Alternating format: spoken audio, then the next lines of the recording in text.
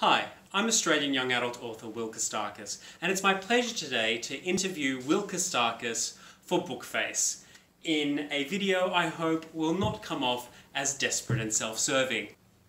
Will, thanks so much for joining us. To start with, tell us about your new novel, Rebel Gods. So we started off with last year's Monuments that saw Connor, Sally and Locky skipping school to find the ancient gods that are buried under different Sydney high schools. And now we have Rebel Gods, which takes up about a month later, and our three heroes are wrestling with everything that happened on their adventure and also facing off against two gods that may or may not want to bring about the end of the world. Rebel Gods is your first sequel. How did you find that process? It was really tricky to write a sequel, I'm not gonna lie. It didn't help that we're living in Hellscape 2020 and all the things that I usually did to get inspired to write, I couldn't do. And so I was writing and also wrestling with the fact that my brain felt like it was melting. But I'm so glad that I got through it and I'm so glad that I have this book at the end of that process because the thing about sequels is you can build on all those unanswered questions and all those things that you teased in the first book. And now that I've had a taste of writing sequels, I want to start imagining bigger stories that stretch over numerous books. What drew you to fantasy?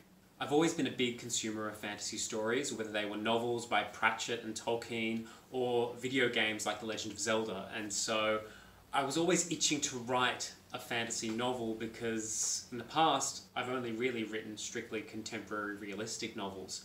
And I was drawn to fantasy because after two really heavy contemporary novels in a row, I wanted to tap into that teenage version of myself that would, you know, stare off into the distance and imagine this sprawling fantasy novel taking place on Sydney's rooftops. And what was your approach to world building? It's the same way that I approach world building in my contemporary novels. I kept it simple. I only told readers the things that I felt were absolutely essential. And nine times out of ten, I stripped out a lot of the description and a lot of the world building because I often find that the world building is for the author to get comfortable in the space. Sometimes the story doesn't need all of that information. And so I used test readers and my editor to figure out what information was vital and what wasn't. Finding that balance was a bit tricky, but we got there in the end. It was really exciting to read a fantasy novel that was jam-packed with richly diverse and queer characters whose stories and arcs didn't revolve around their queerness.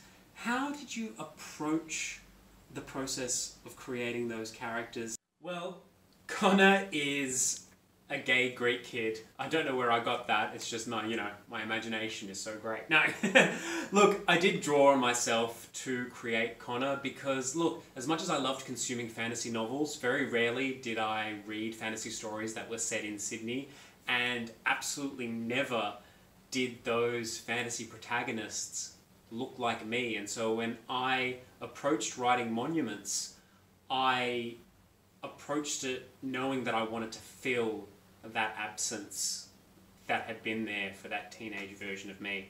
And so Connor is, or at least he started off being a little like me. When it came to Sally and Locky, it came down to just reflecting the diversity that is in our world. It's, you know, I don't want to get a pat on the back for reflecting the world as it is. You know, there are Aboriginal kids like Locky.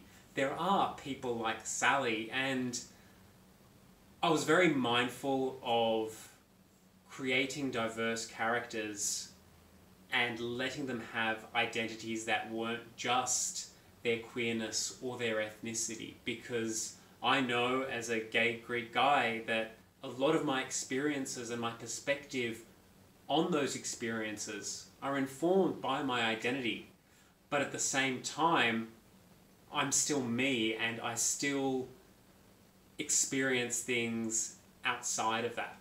What do you hope readers take away from Rebel Gods when they finish reading it? I hope that when they put down these books, teen readers feel empowered to seize their moment and change the world. You know, I have had the fortune of getting to tour Australia for the past 12 years and meet Australia's teenagers, and I am constantly blown away by their generosity of spirit and their optimism for the future. And I honestly can't wait for them to seize control of the world.